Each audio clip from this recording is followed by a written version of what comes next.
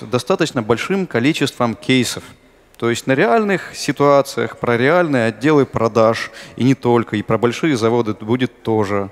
А, то есть меньше теории, больше а, каких-то реальной практики, вернее, это не тренинг, реальных практических ситуаций, из которых вы будете делать выводы. Нормально? Принимаем такой формат? Ну вот и славно.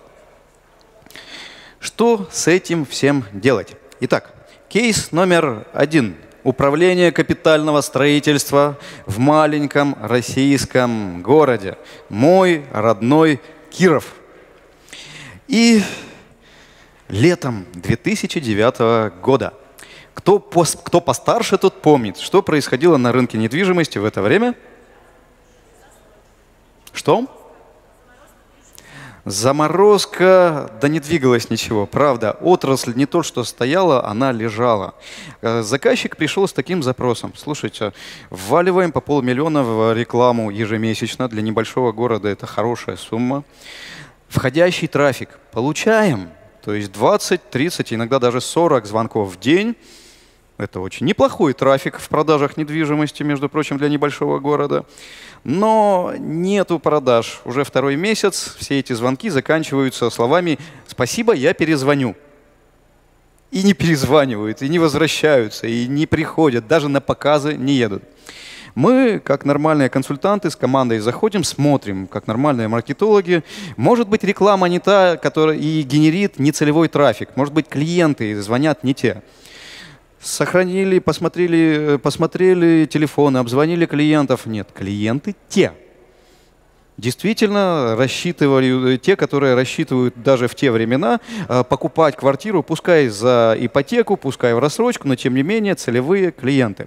Может быть, что-то другое, может быть, жилье славится плохим качеством, низким качеством. Нет, компания работает в городе давно, они знают, как об очень хорошей компании хорошее жилье строить. Дошли по цепочке действий клиента, по воронке продаж до самого главного – Э, как говорят, затыка, э, уж извините, до бутылочного горлышка, будем говорить на, по терминологии теории ограничения систем, работы продавца. Нельзя в процессе продаж э, сложных, дорогих товаров и услуг, тем более вот таких сложных, как квартира, не бывает квартира просто сама по себе, бывает квартира с окнами на юг, с окнами на север, на парк, бывает на третьем этаже, бывает на последнем и так далее. То есть сложный продукт, нельзя отвечать на вопрос о цене сразу. И даже если клиент э, каждый первый сразу давит по телефону, сколько стоит? Ну-ка рассчитайте мне, сколько будет э, стоить там 50 квадратов там двухко или там однушка или 70 квадратов двушка, сколько стоит ваш квадратный метр. Нормальный продажник должен попытаться хотя бы перехватить инициативу и выявить потребности и так далее. Ну, классика тренингов продаж. А ребята, девчата, вернее, там в это время работали, этого не делают абсолютно. То есть сливают цифру сразу по первому запросу.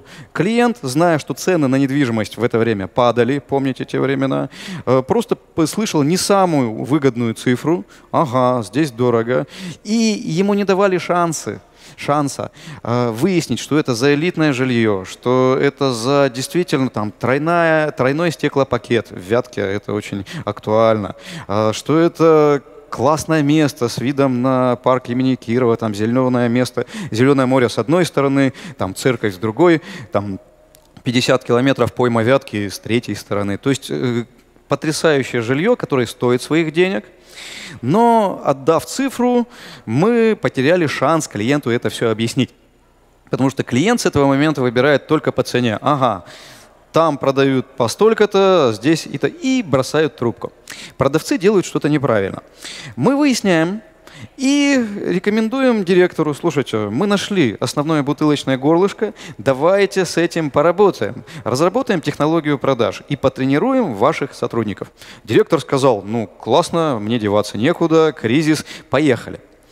Разработали, провели все нужные исследования, сценарии продаж э, расписали даже сейчас, там через 10 лет практически, я считаю, что там очень неплохой сценарий у нас получилось разработать. Все хорошо вроде бы должно быть. И на тренинге продажники участвовали активнейшим образом. На тренинге рядом сидел генеральный директор.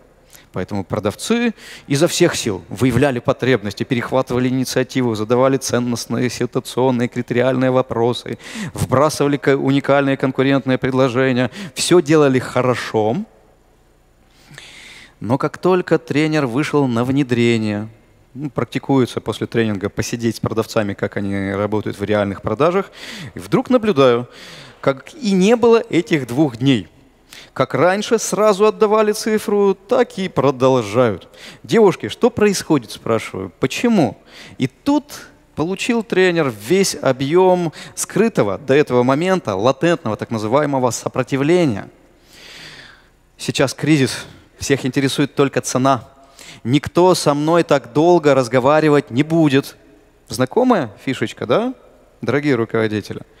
Да чему вы можете меня научить? Вы человек со стороны, а я в риэлторском бизнесе пять лет работаю, э, вторая девушка заявила. Тоже знакомая история. Человек со стороны ничему нас научить не может. Выдали весь спектр сопротивлений. Тренер по продажам, к сожалению, тоже не бессилен. Я попытался мытьем, катанием, уговорами, убеждениями, аргументацией, примерами других проектов. Не применяют никаких новых техник. Как по-старому работали, так и, э, так и по-новому работают. Пришлось пойти к генеральному директору. Я в прошлом старший сержант, в общем-то, стукачей не люблю, сам как-то это все в юности было забито на уровне подкорки, но тут пришлось, потому что потерял все рычаги. То, что было дальше в этом проекте, я расскажу чуть позднее. Как по-вашему, вообще почему они сопротивляются? Несмотря на то, что вроде бы руководитель выяснил, правда, эта новая CRM-система должна привести к повышению продаж. Эти условные скрипты или сценарии продаж, которые ты пытаешься э, им внедрить, они, все равно, они почему-то все равно сопротивляются. Даже несмотря на то, что ты уверен, что конверсия повысится, продаж будет больше, и их зарплата, и твой доход вырастет. Ваши версии, почему сопротивляются практически всегда? Не хотят выходить из зоны комфорта. Мне всегда хочется спросить, они вот прямо сейчас в зоне комфорта уже находятся. Всем хватает денег, всем, у всех ипотека выплачена, все кредит за машину уже оплатили, никого жена не пилит. Ну, ваша версия? Непривычные алгоритмы поведения. И что? Вот почему бы не освоить новый алгоритм поведения, если он должен привести тебя э, к повышению результатов? Это очень энергоемко. Это чрезвычайно энергоемкий процесс. Наш мозг любит экономить энергию, а не расходовать. Так мы устроены эволюционно, биологически, дорогие мои друзья. Первый ответ который э, пришел, когда я анализировал э, на эту тему, почи, э, анализировал э, эти проблемы, да не в продажниках дело – я регулярно из проекта в проект наблюдаю очень похожие ситуации. Например, генеральный директор, вот живой проект годичной давности, даже не я там работал, мне о нем рассказывал э, непосредственный участник. Достаточно серьезная сеть из ювелирной промышленности.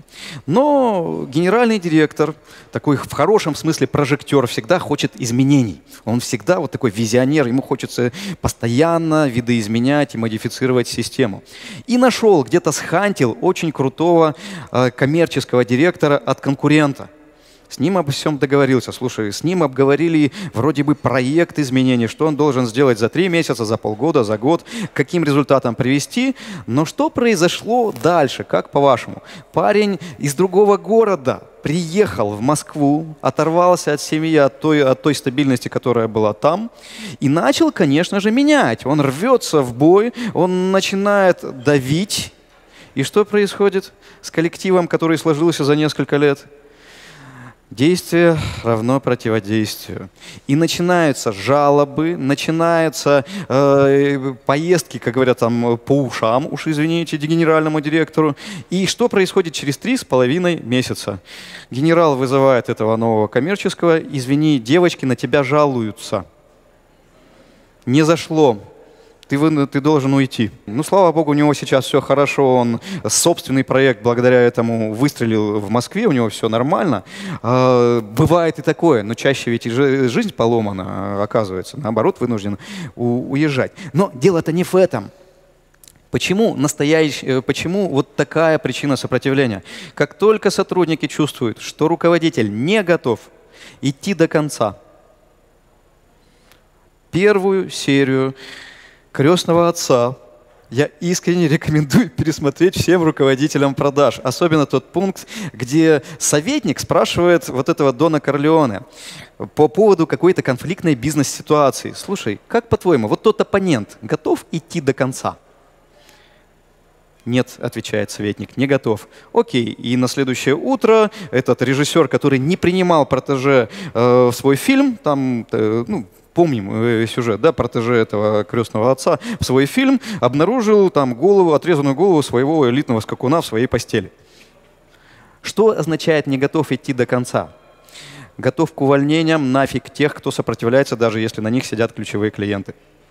Вот это внутреннее ощущение, действительно, я готов вести изменения до результата, и я не буду ни за кого держаться. Между прочим, сам факт того, что вы к этому готовы, считывается на совершенно бессознательном уровне. Это жив... Мы до сих пор с этой точки зрения на гормональном уровне собаки Павлова. Да? Мы все это чувствуем. Это вот в семье. У всех, я думаю, тут у большинства были жены, были мужья или есть, слава богу, дай бог, если это семья счастливая. Жена сразу моментально прекращает пилить мужа. Как только чувствует, что уже он до крайности доведен, готов собрать чемодан, оставить все, там, детей, там, квартиру и так далее, и уйти, как говорится, в темный, в темный город сразу становится шелковой, как только... Причем как они это чувствуют, непонятно, на совершенно биологическом, ощущенческом уровне. Но я не шовинист мужской, хотя, конечно, шовинист. А, в обратную сторону работает точно так же. Муж прекращает выпендриваться, манипулировать вот этой бедной женщиной, которая 20 лет за него там держалась, прекращает пьянствовать и гулять, как только чувствует, что она готова вот все в раздрызг пойти, вот все бросить, чтобы э, прекратить это все. В... Самое, э, самое главное, нам не требуется увольнять. Намного важнее внутренняя готовность, вот глубоко убежден в этом, чем э, действительно делать это все. Второй источник сопротивления. Почему они сопротивляются? Потому что живые, они люди. Э, по современным исследованиям э, биологии человека у нас три мозга. Рептильный, тот, который обеспечивает нам настоящее физиологическое выживание. Бежать, драться, прятаться. Лимбический и неокортекс, кора головного мозга. Вы будете удивлены, или наоборот, никого не удивлю сейчас. Все, что бы вы ни приносили в плане изменений в отдел продаж, что бы вы ни собирались менять, всегда так устроен наш мозг, воспринимается с негативом. У нас больше центров, отвечающих в коре головного мозга, и не только в коре. В репти... Рептильный мозг отвечает за выживание. выживание. Любые изменения — это на 99% всегда угроза. Сопротивляться сопротивлением физиологично. А если вдруг в вашем отделе продаж есть сотрудники, которые за любую вашу движуху голосуют сразу, мутант.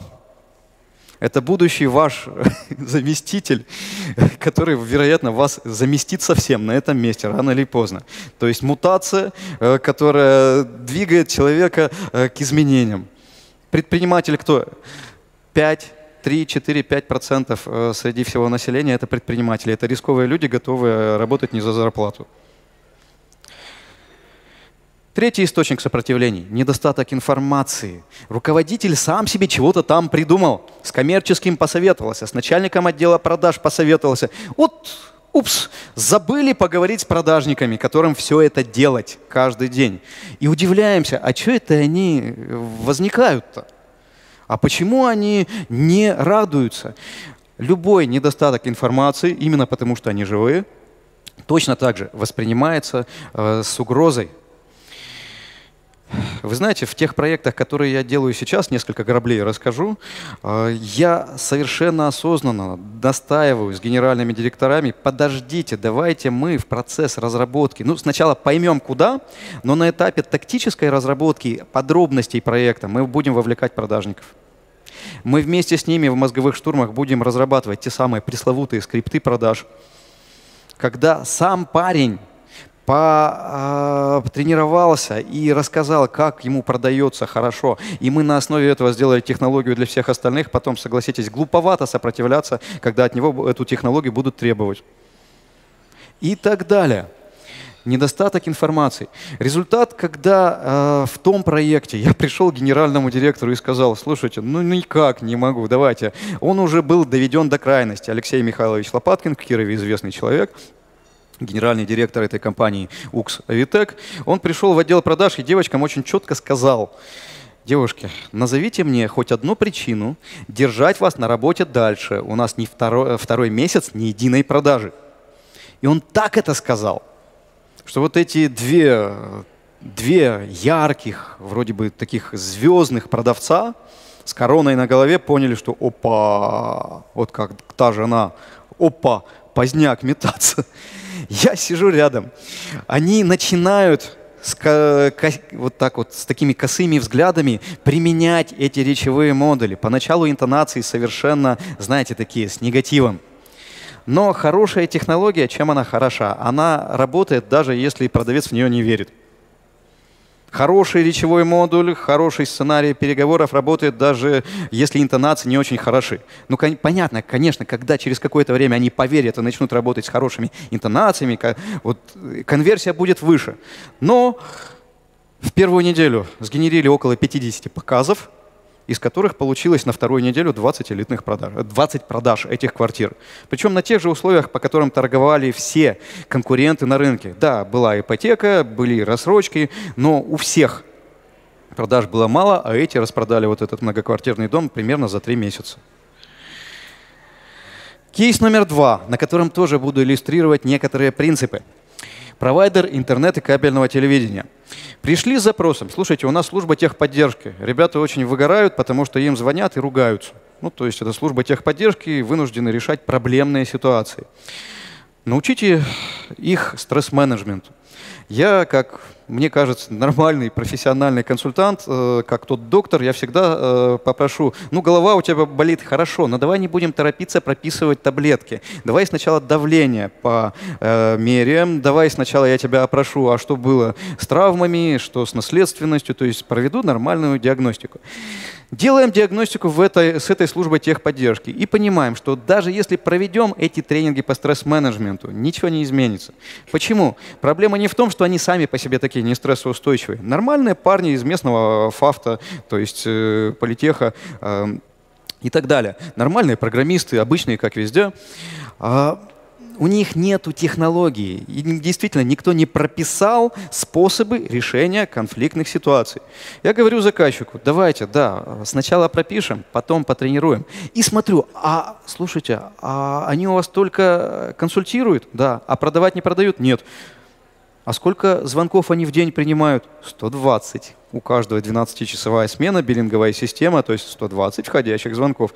Слушайте, а почему они не продают? Это же шикарный ресурс. Давайте их еще заодно научим продавать дополнительные услуги. Тех, кто долго сидит на э, каких-то низкоскоростных тарифах, будем учить продавать чуть более дорогие, более высокоскоростные. Тех, кто работает, то, кто сидит только на интернете, будем э, научим продавать э, кабельное телевидение. Они говорят, ну как же это так? Ведь это же служба поддержки. Опущу долгий период убеждений, про то, что поддержка не должна продавать, заказчик решился – и мы э, четыре дня в две смены с этими ребятами работали в тренингах. Там мы получили сопротивление сразу на тренинге. Открытое. Да я же, а, я программист, я служба техподдержки, я не должен продавать не вообще. Вот кто встречался? Вот такие сервисные подразделения продавать не любят. У кого есть вообще сервисные подразделения в компаниях? Встречались э, с такими проектами, когда ты хотел бы нагрузить их дополнительными обязанностями? Попробуй это будет навязчиво, я не буду впаривать. Ой, мы получили все сразу на обучении. Опять же, Опять же, чуть в конце я расскажу, чуть позднее я расскажу, чем все закончилось в этом проекте. Почему Следующий источник сопротивления. Да банально, есть люди, которые э, не могут взять новые технологии. Почему? Потому что они не способны их взять. Я назвал этот эффект Windows 10 на Pentium 286 уже не встанет. В том проекте мы смогли убрать все сопротивление всего коллектива, уволив всего одного человека, самого главного антилидера. Пришлось это сделать. И ровно после этого все стали шелковые. Все поняли, что все всерьез, что слить этот процесс сопротивления невозможно – и начали работать. А результаты я вам покажу чуть позднее. Следующий источник сопротивления, я назвал его так, спам внедрения. У меня такое ощущение, что в продажах и в управлении, особенно продажами, работает очень много людей, давно, с детства занимающихся боевыми искусствами, причем не мягкими, а жесткими. Карате, бокс, вот знаете, все эти ММА, там, э, бои, бои без правил. Они там на, на тренировках приучились решать проблемы определенным образом, а потом приходят в отдел продаж, его взяли руководителем, и он начинает всех остальных ломать точно так же об колено, как в спортзале. Мы приносим людям готовый проект абсолютно, их к этому не подготовив. Это может быть самый главный источник сопротивления. Я чуть, покажу, чуть позднее покажу, а как их готовить. Но подытожу этот пункт очень простым анекдотом. «Вано!» – спрашивает Гоги. «Вчера я спас девушку от изнасилования». «Вай, Гоги, ты защитил ее от насильника?» «Нет, я ее уговорил». Честно, проще, просто заранее подготовив плацдарм – предупредить эти сопротивления, чем потом с ними бороться. Это как в продажах. Здесь все, я думаю, большинство продажников. Если ты получил жесткое сопротивление э, в переговорах, скорее всего, ты не подготовился. Ты зашел не к тому, не с тем предложением, которое релевантно его потребностям. Ты не подготовил э, ценовые предложения так, чтобы хотя бы одно там по принципу, да, он сел снижение чека, ему э, позволило бы попробовать тебя малыми объемами. То есть ты как продажник действуешь слишком торопливо, слишком жестко и топорно. А здесь та же самая история. В результате, вот э, мелкий текст э, и все ребит, давайте просто на словах, да. А через полгода эта служба технической поддержки, программисты заняли 50% в структуре продаж всей компании. Они перегнали практически колл-центр первой линии хотя до того не продавали совсем. Потому что продажа-то простейшая. Отработал ты его, решил эту главную проблему, с которой клиент позвонил, у него висит интернет, у него не работает телевидение, решил главную проблему, а после этого задаешь пару уточняющих вопросов. Слушайте, а я вот смотрю, вы давно сидите на таком-то тарифе, подвисает, наверное, по вечерам.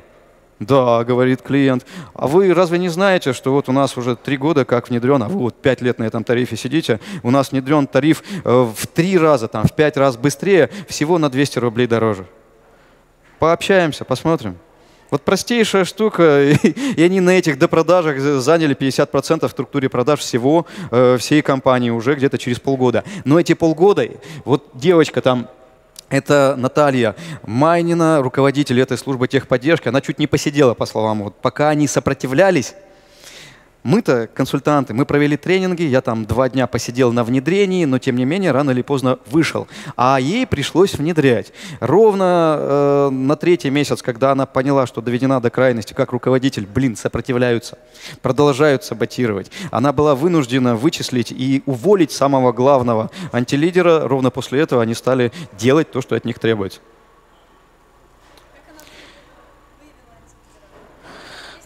Ну, позвонила Алексею, мы с ней пообщались, я дал некоторые подсказки. Это, ну, несложно на самом деле это все выявляется. Подойдите ко мне после перерыва, подскажу, как понять, кто у вас вот этот серый кардинал, который мешает работать вам. Ну, окей. Что с этим всем делать? Переходим в блок рекомендаций, в позитивную сторону, в позитивный, э, скажем так, модуль нашего, моего выступления. Конечно же, готовить плацдарм заранее. Ситуация, кейс номер три. Завод пришел ко мне с запросом. Хотим организовать конкурс кадрового резерва, потому что все мастера уже предпенсионного возраста неким заменять руководителей среднего звена. Но, говорит, ни во что не верят. Ни во что не верят, ни на какие инициативы э, там профкома вот этой молодежи не реагируют. Скорее всего, вы ничего не сделаете. Мы сначала две недели готовили почву. Мы э, походили по бригадам, мы спросили вот этих э, ребят из молодежного комитета, кто у вас является организаторами э, волейбола по вечерам. Подсказку даю вам. Э, кто свистит, кто когда говорит, народ, пошли пивка попьем, за кем все идут и зовите к нам.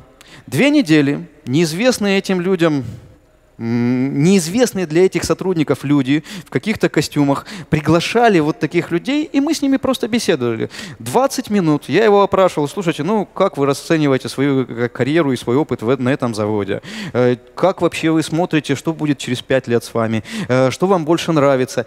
И ни в коем случае, ни одному мы не говорили ни о каком конкурсе кадрового резерва. Мы их отпускали в несколько подвешенном состоянии на языке психологии, незаконченный гештальт. То есть незаконченное действие, энергия. Ну, поговорили, а и, и, и, и вот это и, и, и где они реализовывали? Что происходило в бригадах, в цехах уже через полчаса, как по-вашему? Они, начали, они общались друг э, с другом, мы запустили вирусный эффект. Когда через две недели мы организовали уже официальное начало кадрового конкурса, э, генеральный директор, который считал, ну придет три с половиной инвалида там вот этих активистов молодежного правкома, открыв рот, наблюдала, когда третий, пятый, шестой десяток заходят, 90 человек стояли по стеночкам, не хватило стульев. И оттуда пришло 50 с лишним человек в сам конкурс, то есть мы сделали презентацию, из которых по итогам через полгода проведения этого кадрового конкурса мы нашли трех будущих начальников цехов, а остальные работали у них в проектах. Что еще делать? Работать с лидерской структурой группы. Изменения лучше запускать не, че, не сразу на весь коллектив, а через резонансных людей. А, почитаем групповую динамику, почитаем лидеры группы Эрика Берна. Надо кому-то литературу для самоподготовки.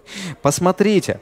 Действительно, есть люди, которых слушают, есть люди, которые, которые слушают. Есть те, кто идет за кем-то, за лидером, есть те, кто э, за кем идут. Их нужно вычислять.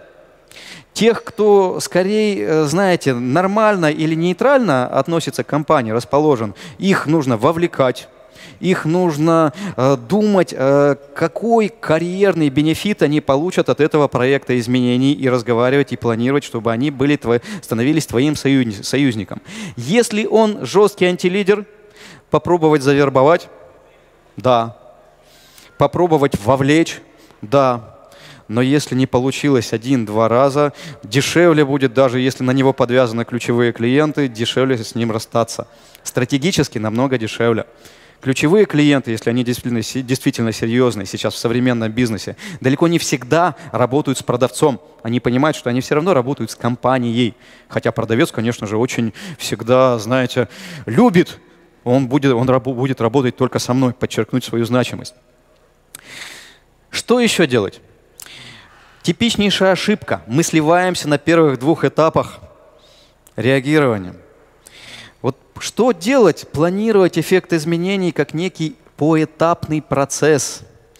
В свое время Элизабет Кюблер-Росс, американский психолог, изучала закономерности принятия неизбежных решений, принятия неизбежного э, людьми.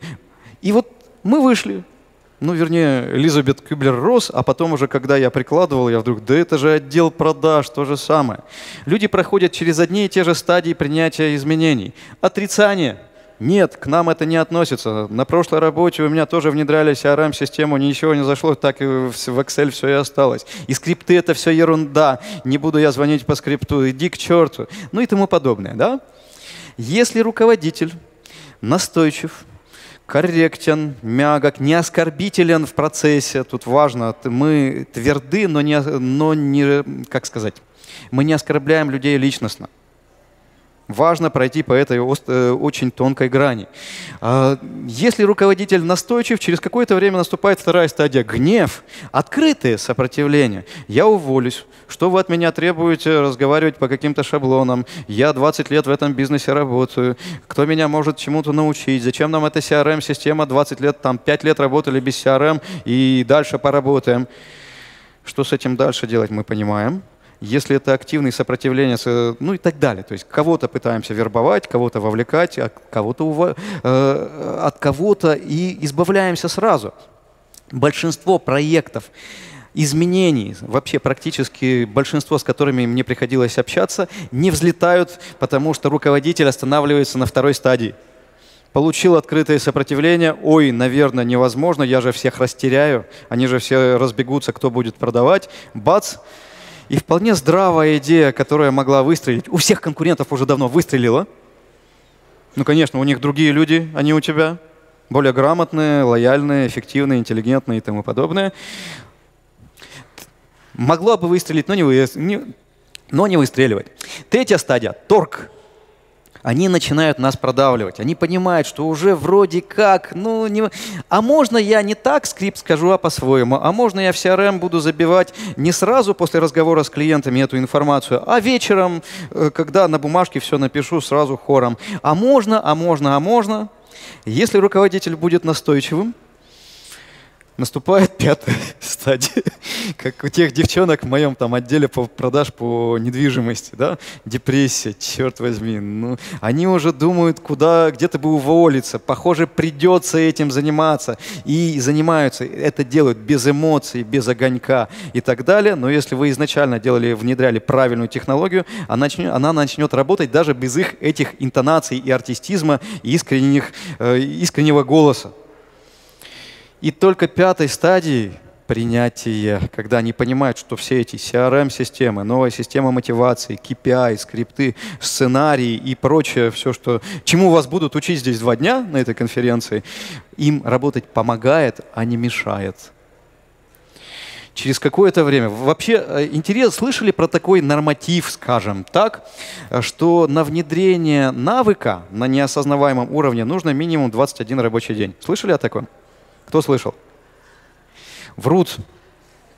Это устаревшая цифра, э, и скорее она э, фигурирует в таком общественном бессознательном, э, потому что было большое искажение информации. Современные исследования о том говорят, что 21 – это цифра не общая, а минимальная. От 21 до 60 дней повторения требуется, чтобы сотрудник забыл, как работать по-старому – и начал по-новому работать, как будто бы он всю жизнь так разговаривал. Это наша с вами, дорогие руководители, ежедневная работа. Это утренняя планерка, это ежедневное подключение, прослушивание записей, ну пускай не всех, да, ну хотя бы выборочно. Это вечернее, обязательно там 20 минут с ними посидеть и немножко потренироваться по самым часто встречаемым возражениям в течение дня. Это еженедельный тренинг в конце рабочего дня в пятницу, например, уже часика на полтора, э, когда мы обобщаем все э, проблемы, с которыми встречались, и тренируемся, тренируемся, тренируемся, пускай внутри. Так вот, кстати, я уже рассказал про тот проект, да, про Multinex, то есть 50% э, заняли, но ушло на это полгода. Что еще делать? Планировать проект как поэтапный процесс. Когда-то, когда я понял, что мне надоело продавливать сотрудников, вот этих клиентов, я живой человек, я не люблю работать с сопротивлениями. Мне проще и больше удовольствия, что ли, в жизни доставляет уговорить, а не там, понятно, да? Мы разработали с коллегами такой свой подход. Называется он «Литейка». Это аналогия с металлургическим комбинатом. Чтобы отлить что-то новое, какую-то новую деталь из металлического лома, нужно сначала то, что было твердым, металлический лом, расплавить. Из каких этапов это все состоит? Шаг первый – разведка. Исследование клиентов, конкурентов, продукта, моделей воронки продаж, мотивация, неформальная структура коллектива. Вот есть еще один источник сопротивления, почему скрипты и CRM не внедряют. Вы внедряете не то, что нужно этой компании. Ваш руководитель отдела продаж, например, генеральный директор э, ставит ему задачу. Слушай, я слышал, у конкурентов уже внедрены скрипты, давай-ка и мы тоже внедрять. Что делает руководитель в первую очередь? Заходит в интернет и заводит поисковый запрос. Скачать скрипты, скрипты продаж, скачать бесплатно. Коллеги, там мусор. То, что такие, как я, когда-то разработали, но под конкретного клиента его специфика не подходит к вашей, у вас другая. И это, в принципе, отработанные шаблоны, которые уже не работают. Но руководитель-то отдела продаж этого не знает. Он радуется, о, как клево, можно консультанту не платить, самому не сидеть, не разрабатывать это все по-настоящему. Э, печатает, идет к сотрудникам, выдает им с утром, давайте учиться и давайте работать по новым технологиям. К вечеру они приходят и говорят, не, Серега, не, сам звони по этим скриптам. Потому что это не то, что работает. Хороший скрипт продаж разработ, должен быть разработан а. под вашу продуктовую линейку со всеми вашими сервисными особенностями. б. Он должен э, быть, э, он должен полностью имитировать речевой строй. Письменная речь как обычно пишут скрипты, и устные кардинально отличаются.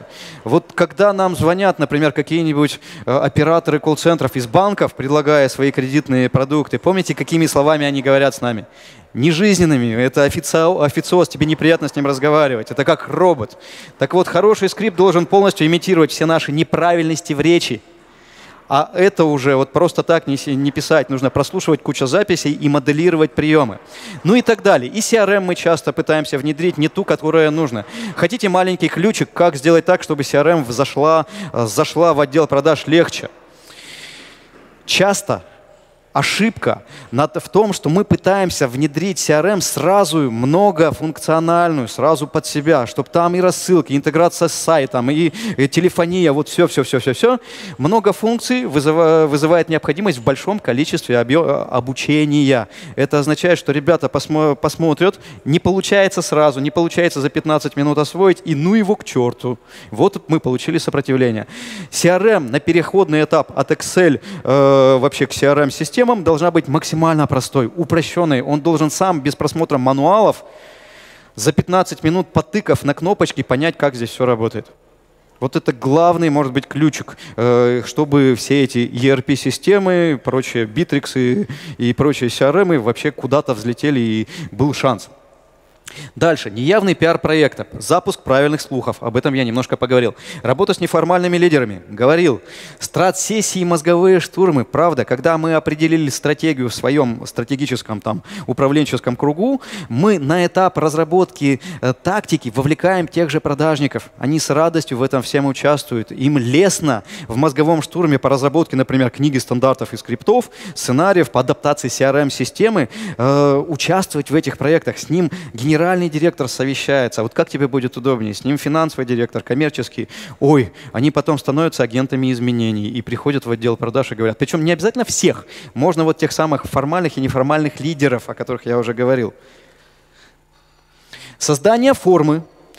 Делаем платформу для информирования о ходе проекта когда уже официальное начало, рекомендую, правда, сделайте какую-то страничку на корпоративном форуме, вот э, отчет ежедневный о том, что происходит в процессе изменений, чтобы они знали и отслеживали регулярно. Интранет, рассылка, форум, там в CRM-системе, там лента в Bittrex 24 там, и тому подобное, и в прочих других CRM-систем. Я не апологет Bittrex, просто к слову пришлось. А, разработка книги стандартов и сценариев продаж, вот, чтобы форма зашла. Подбор, установка, адаптация, настройка CRM. Тренинги. И вот важнейший момент. Не торопитесь внедрять сразу всему коллективу. Возьмите тех самых неформальных условных лидеров, и предложите им на них стать группой спецназа, группой кадрового резерва, на них обкатать новые технологии. Действительно, в отделе продаж 10 человек ты берешь там одного-двух. В отделе продаж 20-30 человек ты, ты берешь 3-4 человека. И они вместе с тобой, если ты руководитель, или с консультантами, если ты приглашаешь для всего этого проекта каких-то консультантов-внедренцев, они обкатывают эту технологию неделю-две. Им проводятся мини-тренинги, они работают в новой CRM-системе, им нарезается своя э, группа. У меня был проект, э, когда компания из IT-сферы, разработчики сайтов, а, были вынуждены в 2008 году прийти, слушайте, вот э, знаем про конвейер давно, были на семинаре, а, а грохнул кризис, что делать? Рабочая тетрадь. Посмотрели, конвейер. Так они что сделали? Они э, не стали внедрять новую технологию продаж ветеранам, Зачем тратить время на сопротивление? Они на том же этаже сняли помещ... новое помещение, взяли нового отде... руководителя отдела продаж, сразу ему поставили стратегию и тактику, набрали новых ребят, перераспределили базу, чтобы не было накладок на клиентах. И сначала два месяца внедряли, строились технологию с новичками. А новички, они как белый лист, они приходят в эту компанию, какое сопротивление? Здесь у нас так работают, вот по этим технологиям. Им дали готовую технологию. Все, а, но в курилках-то и на получение зарплаты они все равно пересекаются с ветеранами и на обеде. Когда э, по итогам первого месяца вдруг обалдели, что э, сколько ты получаешь? Ого, то есть у тебя уже всего 10% до ветеранской зарплаты, а я три года работаю в этой компании. Ну-ка, ну-ка, ну-ка. А когда на третий месяц новички начали зарабатывать больше, чем ветераны, все, дальше уже было делать техники, распространить новые технологии на, всю, на весь коллектив. Проще так, чем переламывать ветеранов. Они вас сильнее частенько и психологически, и структурно. Понятно, я очень понимаю страх руководителя, когда э, он боится потерять ветерана, на котором сидят ключевые клиенты. Все эти тестирования и доработки. Почему, например, скрипты и CRM э, часто не внедряют, э, не взлетают? Да потому что не протестировали. Придумали из головы и начали сразу обучать сотрудников. Тестируем много раз. Когда Алексей Урванцев, вроде давно э, в этом работаю, неплохо знаю, тренер по продажам, тренер по публичным выступлениям, то есть и продавал много лет сам вот на холодных звонках. Но все равно, когда делаю очередной проект, я себе сначала делаю шпаргалку которые тестирую, получаю конверсионно, статистически доказуемые, э, скажем так, доказанный, доказанный рост в цифрах, и только после этого чему-то обучаем сотрудников. Вот это правильный подход, коллеги, профессиональный. Отливка. Тренинги для всего коллектива. Важный ключевой момент. Они должны быть клевыми. Тренинги должны быть веселыми. Вот не нудятина, даже если там мы действительно берем скрипты и заставляем сотрудника много раз повторять, сделайте, найдите тренера сами, в конце концов, если вы руководитель и имеете эти навыки, сделайте так, чтобы там было весело. Эмоция важнее, дает важнейшую энергию для внедрения любых изменений. Она должна быть позитивной. И один из простых способов, например, вот дам упражнение как тренер по ораторскому искусству, прекрасно в тренингах по продажам работает. Берем скрипт, а потом вместе с сотрудниками просим их давай, этот скрипт э, произнеси э, в, интонации, в нескольких разных интонациях. Интонация, например, э, ты, ты зовешь кого-то с холма, да, на улице. Интонация Жириновский, интонация Маяковский. Там интонация секс по телефону. Вы не представляете, сколько смеха до потолка. Это они падают со стульев, когда вот это вот сексуальным, роскошным, чувственным голосом они, Иван Иванович, там, давай мне скрипт отстройки от конкурентов номер три в отличие от других компаний, которые, к сожалению, часто после поставки оборудования забывают о клиентах, мы делаем установку, пусконаладку, шеф-монтаж, обучаем ваших сотрудников и благодаря... Ну, то есть смеха куча, они там друг друга соблазняют, они там э, вот э, роскошный этот чувственный кошачий котовий голос отрабатывают. Когда а мы в это время с вами решаем несколько очень важных черных тренерских задач. Каких? Они в течение этой игры этот скрипт повторят раз 10, то есть он отложится. Во-вторых, включится голос. Он не будет вот таким сексуальным голосом разговаривать с клиентом, но мы достигнем самого главного. Он поиграет с этим скриптом, он станет родным, и интонации наконец-то станут живыми. Ну и закалка, может быть, самый ключевой момент, потому что недостаточно запустить процесс, надо сделать так, чтобы он э, зафиксировался, чтобы он не слился через месяц. Внедрение, коучинг, поддержка. Помним о 21-60 днях внедрения, дорогие руководители. Вот правда, на этом этапе это будет важнее, чем переговоры с ключевыми, с ключевыми клиентами. Сидеть с ними каждый день, черт возьми. Регулярное подведение итогов, то есть каждый день. Поощрение лучших сотрудников, тактика малых побед. Вот каждый день оценивая результаты. Люди не берут изменения, в которые не верят. А они чаще всего не, изменя... не верят в большие изменения. Разбейте большой процесс на маленькие шажочки, ежедневные. Когда у меня в одном из проектов э, новичок-сотрудник после, на второй день внедрения вдруг выдала э, ошарашившая всех, ошарашивший всех результат, я, вечер, я утром купил самую большую коробку конфет, при всех наградил. Спасибо, что вы работали по скрипту. Она новичок, у нее не было альтернатив, как работать по-другому, поэтому она просто тупо отрабатывала правильные скрипты. Молодец. Ветераны, у которых не было такой конверсии, как у нее, вы на это все смотрели, ух ты, ничего себе. Кейс номер три, вендинговые. Коллеги, сколько у меня до конца? У меня 40 минут было, я, по-моему, уже, уже прошло, да? Ну, окей, кейс номер три, вендинговые аппараты, очень быстро. Фокус в чем? Это первый проект, на котором мы сделали тот самый проект «Литейка» в урезанном варианте. Он мне выдал через два месяца генеральный директор э, вот этот отзыв. Ярчайшим примером стало то, что новые сотрудники обучаются и начинают теперь за две недели продавать так же, как ветераны, которые работают в этой компании несколько лет. Тот проект, где у меня девчонка-новичок выдала 100% конверсии, приняла в течение дня 14 входящих звонков и отработала и продала 14 аппаратов для домашней физиотерапии. Ну, это вот, извините, неофициальный отзыв, а скриншот из моей соцсети. Но именно потому, что мы спокойно готовили этот проект, там, по-моему, пару месяцев мы работали перед тем, как выводить ребят на живые продажи по новым технологиям. Ну что ж, друзья, с вами был Алексей Урванцев. Мне очень приятно, да, там, рассказать о своих рейтингах. Извините, что похвастаюсь. В списке 28 лучших бизнес-тренеров России по итогам исследования журнала «Управление персоналом» полгода назад. Топ-20 лучших российских тренеров по продажам и ораторскому искусству. Ведущие передачи об умных продажах без скидок на Metrics TV каждый четверг. Слушайте в 9 утра. Автор публикаций. С 95 -го года работаю в продажах, был и в снабжении, и ездил, возил грузы, и продавал на холодных звонках, и до сих пор в проектах. Вот сажусь сначала на телефон и звоню вашим клиентам, продавая ваши товары и услуги, чтобы отработать и передать вашим сотрудникам уже опробованную технологию. Среди клиентов есть ряд как извест, всем известных брендов, так и около, наверное, 500 э, по корпоративным услугам э, средних и малых компаний по всей России и всему русскоязычному пространству. Спасибо за внимание, надеюсь, было полезно. Коллеги, я весь день здесь, подходите, буду рад, если кому-то нужны, будет индивидуальные, нужны будут индивидуальные подсказки по работе с групповой динамикой и тому подобному. Э, спасибо.